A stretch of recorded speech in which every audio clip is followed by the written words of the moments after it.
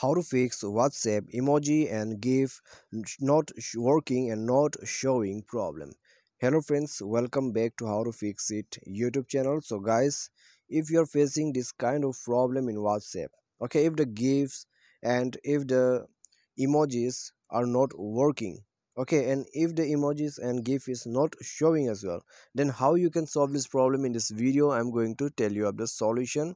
So if you want to solve this problem then guys watch this video till the end. Okay so after watching this video your problem will be definitely solved. And guys you have to follow all the process which i am going to show you. Okay so after following all the process and after doing all the solutions your emojis and gifs problem will be definitely solve. Okay so guys you have to follow the troubleshooting process to fix this issue. So let's start the video without wasting any more time. And guys before proceeding further make sure to subscribe our youtube channel and press the bell icon to get all the latest update. So now let's start the video. So what you have to do here is if your face uh, if your whatsapp emoji and gif not working okay and if your whatsapp emojis are not showing okay emojis and gif are not showing then what you have to do here is the first thing you need to do is go to play store update your whatsapp. Okay go to play store and update your whatsapp. So whenever you update your whatsapp you'll get the latest features okay and all the bugs problem will get fixed. So make sure to update it and after the update you have to go back.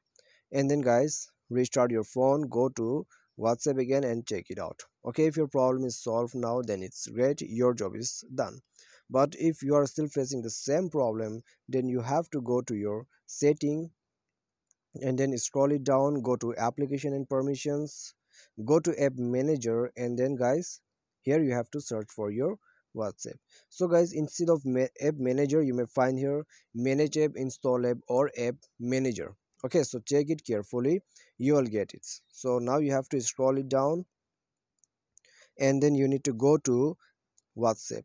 After that you have to force stop the application click ok go to internal storage clear up the cache of your whatsapp for once and after clearing up the cache go to whatsapp check it if your problem is solved then guys it's great. If your problem is not solved then guys you have to uh, you have to re uh, you have to backup your data from your whatsapp and then you need to clear up the data okay?